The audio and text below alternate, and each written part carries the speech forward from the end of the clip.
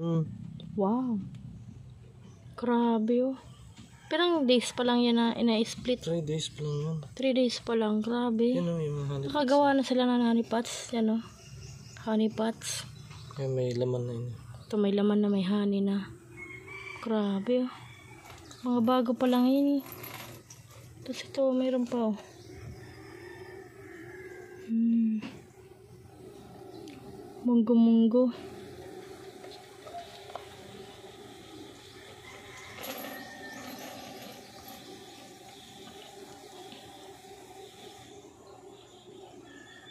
Mudri may tao digdiyo. Ano yan? Queen? Rose bees yun. Nurse bees lang pala.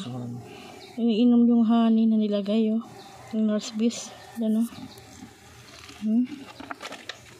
Grabe, oh. Gagaling nila magawa ng ano. Tsura ng bahay nila. Ayan, oh. Parang may kuro-corona. Yan, oh. Bago pa lang yan, oh. Ginawa nila yan, honey pots. Bilis nila, eh. Species na to, munggo-munggo to. Diyan pa, oh, may bago. Oh, 3 days lang yan. Nagawa na nila kaagad ng paraan.